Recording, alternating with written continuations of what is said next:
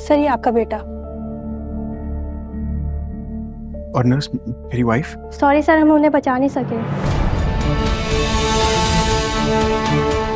Sir बदकिस्मती से ऐसा कोई भी नहीं है जो मुझे अपनी ज़िंदगी में चाहता और जिसे मेरी अपनी ज़िंदगी में ज़रूरत हो।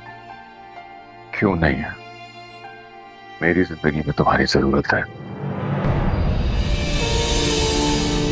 कुलसुम साकिब से मेरी बात हुई है। वो कह रहा था कि मौलवी का इंतज़ाम हो गया है। कल इंशाल्लाह पाँच बजे तक इन दोनों का निकाह हो जाएगा। अच्छा है, निकाह हो जाए। ये रोज रोज की चिक चिक से जान छूटेगी हमारी। आप ही ना मुझे कुछ सुनना है, ना कहना है। क्योंकि मैं अच्छी तरह समझ गई कि आप एक इंतहाई बुजदिल औरत हैं, जो अपने लिए कभी कुछ कर ही नहीं सकती है।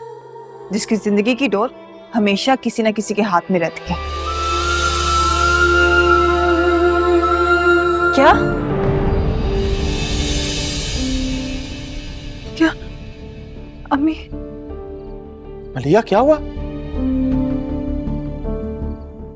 क्या हुआ? मलिया? फहद आप आप ने खुदकुशी कर ली है। खुशी